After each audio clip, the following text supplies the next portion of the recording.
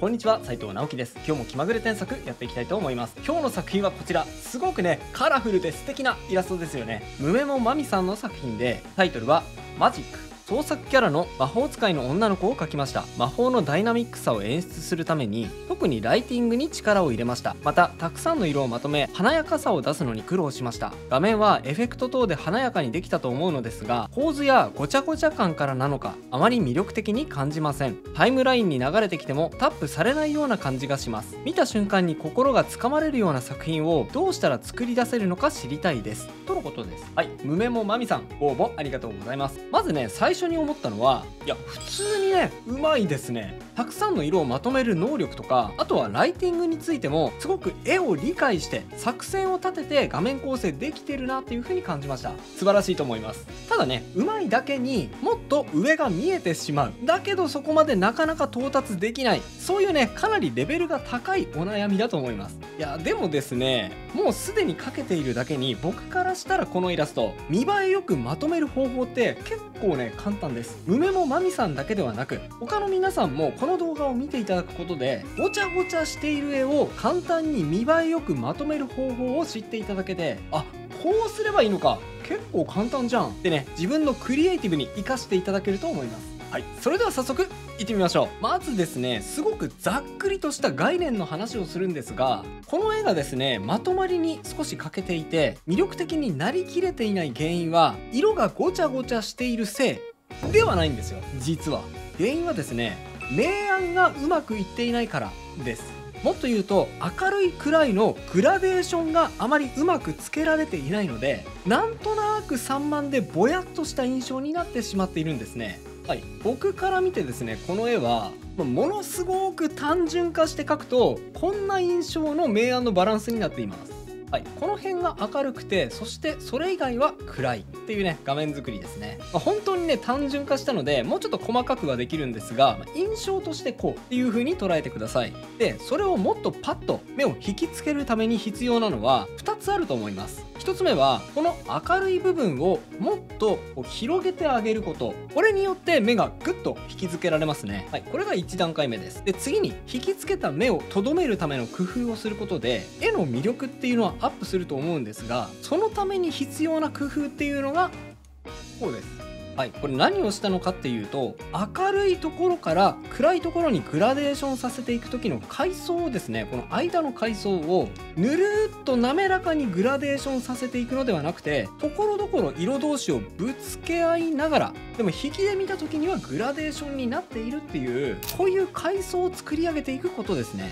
これをすることで引きつけた興味をおどうなってんだこれ。ってね画面に留めておくことができていわゆる魅力的な状態を作り上げることができるってわけなんです。はい。大まかな作戦としてはこうしてこうするみたいな。なんかそういう概念なんですがじゃあこれを実際のイラストに当てはめていくとどうなるのかやっていきましょう。はい。まずはねこの明るい面積を広げるっていう部分を最初にやりますね。こうです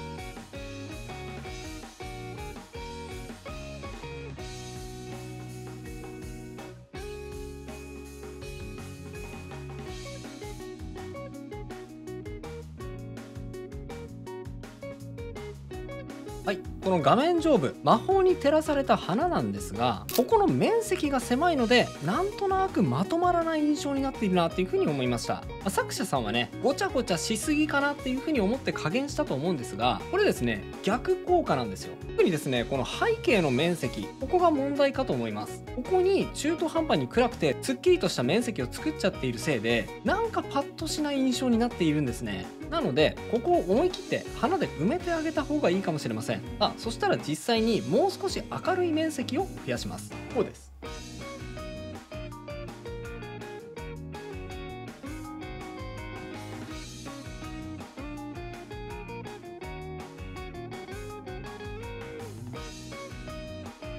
はい。こんな感じですね。さっきの概念図で言うとこんな段階です。これを思い返しながら見てみるとこれとこれこれとこれ明るい面積が増えたことによってなんか目をパッと引きつけられるようになるでしょ？もうねこれだけで結構威力高いんですよね。でね絵の主役一番見てほしい部分はこの部分だと思うのでこの部分以外に明るい部分を作りすぎてちょっとそっちに目がいっちゃうなっていう部分があったらその部分は逆に暗く調整してあげても効果的です。例えばここですかね。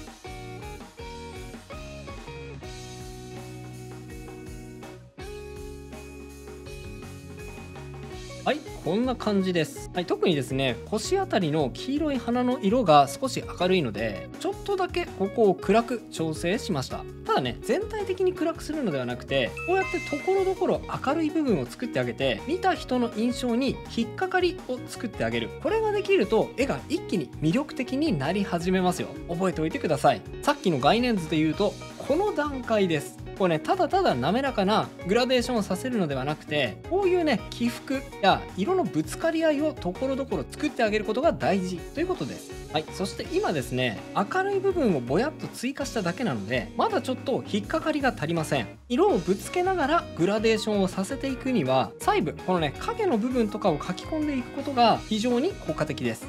やってみます。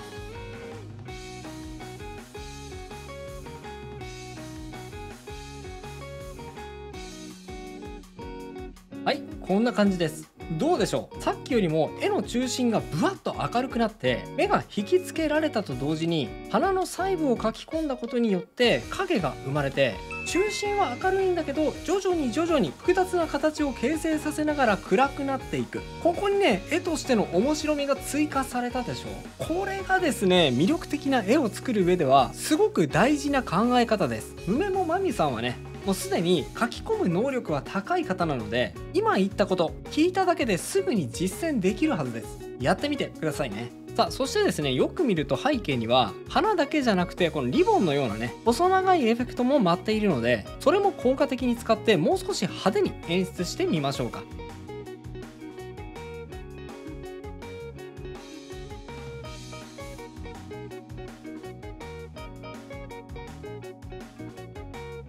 こんな感じです。背景の部分だけじゃなくてキャラクターの手前にもカラフルなリボンを追加してあげることで画面に一体感が生まれて良さそうですね。さらに光の粒ももう少し追加してあげましょう。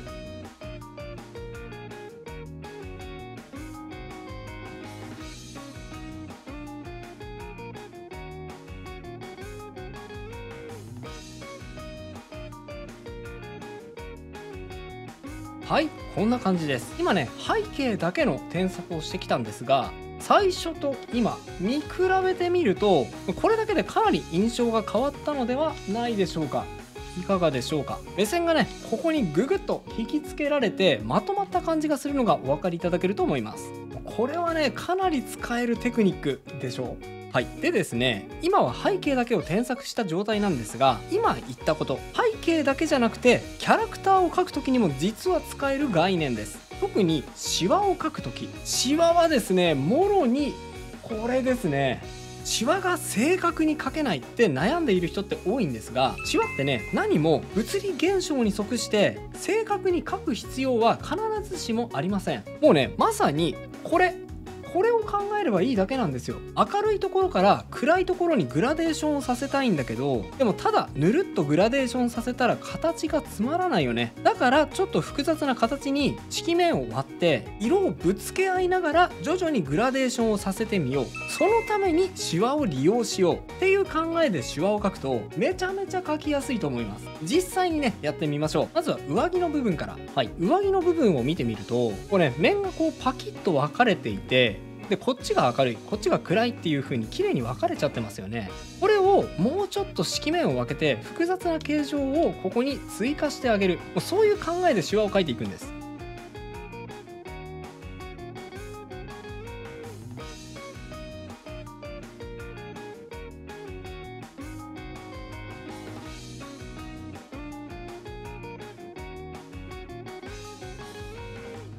はい。上着はですねさっきも言ったようにここが明るくてそしてここからが暗いっていうざっくりとした明暗はかけているんですがこれだと形が単調すぎて目線がとどまってくれません。明るいところから暗いところに変化する部分をシワを使ってグラデーションをさせてあげる。こうすることで単調さがなくなって一気に面白みが追加されるんです。さあスカートも同じ考え方です。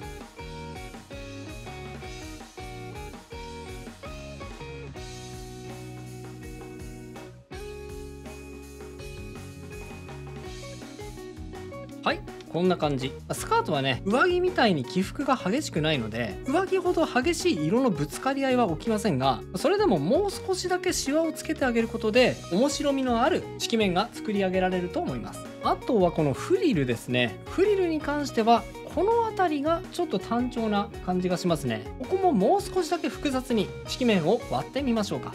やってみます。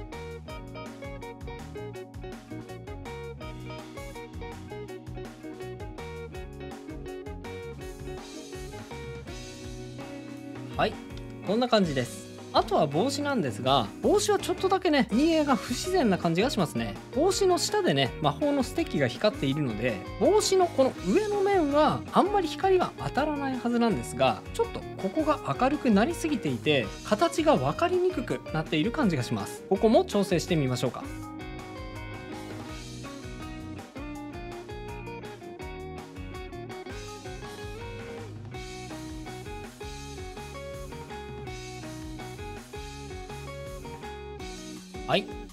な感じですね。ま、すごく細かいところなんですがここも細かい起伏を作って複雑なグラデーションを作り上げております。正確にシワを描こうって思うとシワって描きづらいですけど光と影のグラデーションを面白い形にするためにシワって描くんだって思えば結構気軽にシワって描ける気がするでしょさあもうほぼ仕上がっていますが最後に髪の毛のハイライトをちょっとだけ足してあげましょう。こんな感じ。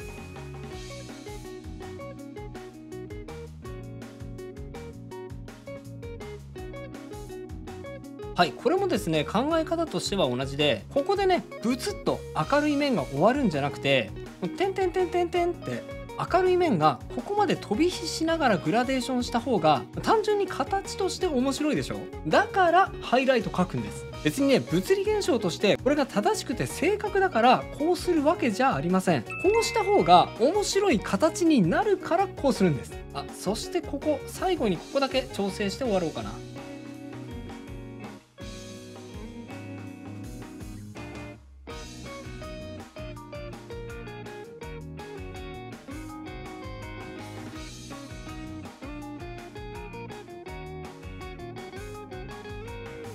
こんな感じ、まあ、ここはねそんなに印象としては大きくないですが肌の影についても今言ったような形の面白さを追加できると思ったので若干影を追加してみました。今回の添削は以上となります。並べて比較していってみましょう。はい右がビフォー左がアフターです。こんな風に変化しました。いかがでしょうか？最初からねすごく魅力的で密度のあるイラストだったんですがさらに目を引きつけてそして画面の中に目がとどまるようなそんな魅力を追加できたのではないでしょうか。いかがでしょうか？はい。今回の添削ではごちゃごちゃした絵をまとまりのある魅力的な絵にするにはという切り口で添削を進めてきました。それについての僕の答えは2段階。まずは明るい部分の面積を思い切って広げること。ごちゃごちゃしたモチーフが描かれていても明るい暗いの関係がしっかりしていれば明るい部分に人の目は引きつけられるのでごちゃごちゃしていること自体はそんなに問題にはなりません。はい。そして明るい部分を作ったらぬるーっとグラデーションさせていくのではなくて影の部分やキャラクターで言えばシワ。これをうまく利用して細かい色面を作りながら複雑にグラデーションの幅を作り上げていく。こうすることによってより魅力的で美しいそして楽しい絵に仕上げることができると思います。是非この考え方取り入れてみてはいかがでしょうか。それと今回は背景を中心とした添削になったと思いますがうーん背景って難しいんだよな。描けって言われてもそんなに簡単に描けないよ。っていう人も多いと思います。大丈夫です。この通りに描けば誰でも強制的に魅力的な背景が描けちゃうっていうやり方があります。その方法をお伝えした動画。誰でも簡単。背景の描き方5選がおすすめです。興味がある方はこちらも合わせてチェックしてみてくださいね。合わせてチェックすることでお絵描きレベルが100ぐらい一気に上がっちゃうと思いますよ。さあそれでは最後にあのコーナー。気まぐれあっち向いてほいのコーナーです。僕にあっち向いてほいを仕掛けてみてくださいね。いきますよ。準備はいいですか？気まぐれ気まぐれあっち向いてほいそれではまた次回の動画でお会いしましょう。